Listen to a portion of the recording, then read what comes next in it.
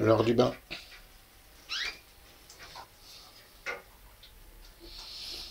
Ah, ça se baigne un peu partout là. Ça lisse les plumes.